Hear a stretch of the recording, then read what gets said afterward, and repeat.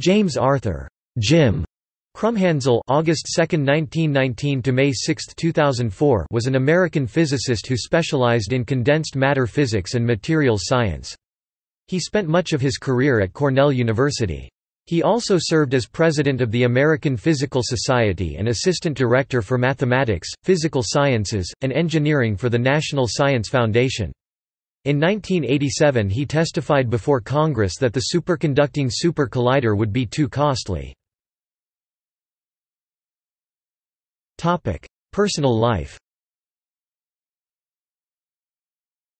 Krumhansl was born August 2, 1919, in Cleveland, Ohio.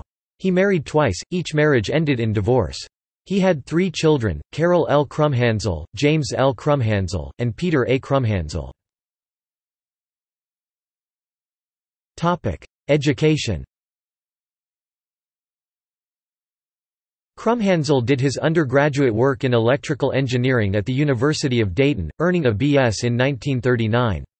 He went on to receive an M.S. from Case Western Reserve University in 1940 and a Ph.D. from Cornell University in 1943. Both graduate degrees were in physics. His doctoral dissertation concerns the klystron. Career After earning his Ph.D. Krumhansl spent one year as an instructor in physics at Cornell. In 1944 he left Cornell for the Stromberg-Carlson Company, where he researched microwave pulse communication systems for the U.S. Navy during World War II. He remained at Stromberg-Carlson until 1946, when he became an assistant professor of physics and applied mathematics at Brown University. He was promoted to associate professor in 1947. In 1948 he moved back to Cornell as an assistant professor of physics and was promoted to associate professor in 1950. In 1955 he returned to industry as a research director for the National Carbon Company. In 1959 Krumhansl became a full professor of physics at Cornell. From 1960 to 1964 he directed the university's Laboratory of Atomic and Solid-State Physics. He was named the Horace White Professor of Physics in 1981. Before retiring in 1990, he also held visiting appointments at the University of Oxford, the University of Cambridge, and the University of Pennsylvania. In retirement he held adjunct professorships at the University of Massachusetts Amherst and Dartmouth College. During his career Krumhansl had several opportunities to serve the academic physics community. He was the editor-in-chief of the Journal of Applied Physics from 1958 to 1964 and of Physical Review Letters from 1974 to 1977. From 1973 to 1978 he served on the governing board of the American Institute of Physics. He chaired the American Physical Society's Division of Condensed Matter Physics and was the Society's president from 1989 to 1990. As president he advocated for more visas and immigration opportunities for Chinese scholars following the Tiananmen Square massacre of 1989. Krumhansl was also active in government service through much of his career. He served on advisory committees for the U.S. Atomic Energy Commission from 1954 to 1959. Soon after, he and Rob Thompson co-founded the Defense Advanced Research Projects Agency's Materials Research Council. From 1975 to 1979 he was a senior fellow at Los Alamos National Laboratory, where he served as a consultant to the laboratory's director.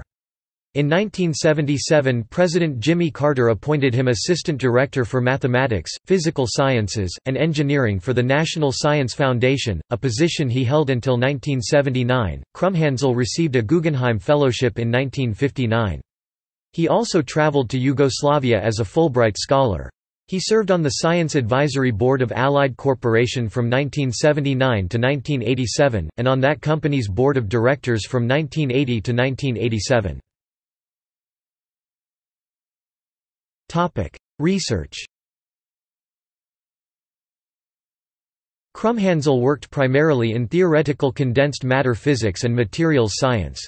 During his time at Penn he and John Robert Schrieffer formulated an influential model of structural phase transitions based in statistical mechanics. He also did important work on crystal twinning in martensite with Gerhard Barsch.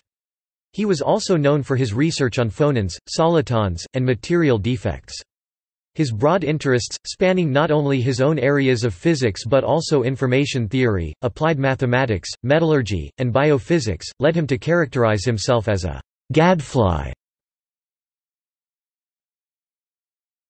Topic: Congressional testimony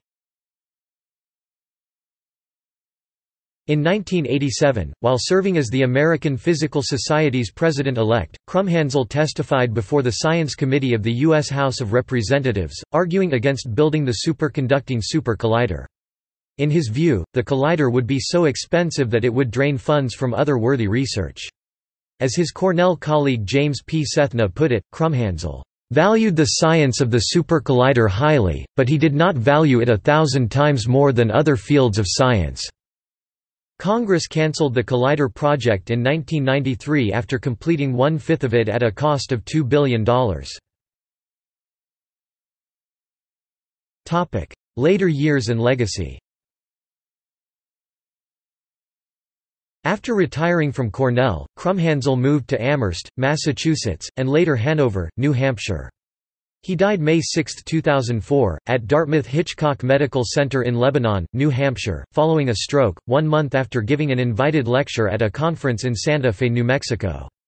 Cornell established a postdoctoral fellowship in his memory, and Los Alamos held a memorial symposium in January 2005. References. External links. Website. Photos of Krumhansl from the American Institute of Physics. James A. Krumhansl at the Mathematics Genealogy Project